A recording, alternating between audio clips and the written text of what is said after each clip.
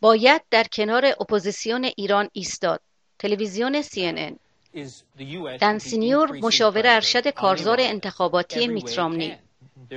میت رامنی در مورد رژیم ایران تصریح می کند که آمریکا باید فشار را روی رژیم ایران به هر صورت ممکن افزایش دهد.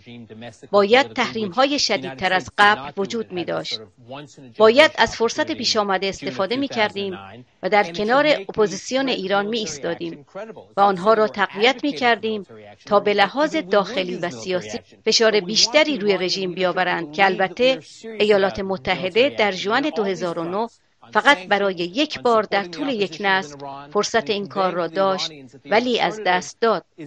باید تهدید اقدام نظامی را معتبر کنیم. منظور ما این نیست که یک اقدام نظامی را تشویق کنیم یا حتی نمی‌گوییم که اگر ما باشیم دست به عمل نظامی می‌زنیم.